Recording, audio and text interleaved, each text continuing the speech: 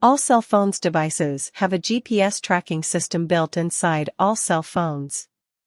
Law enforcement officers have been using Stingray devices to track your phone and location, as well as listen to your conversations. The Stingray devices were created by the US military.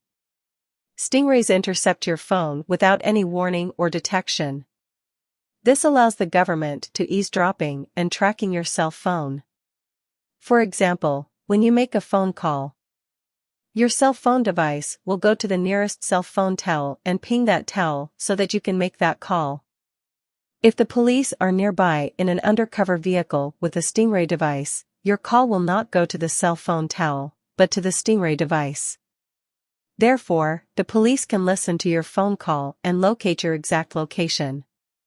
In additional to that, just because you delete your messages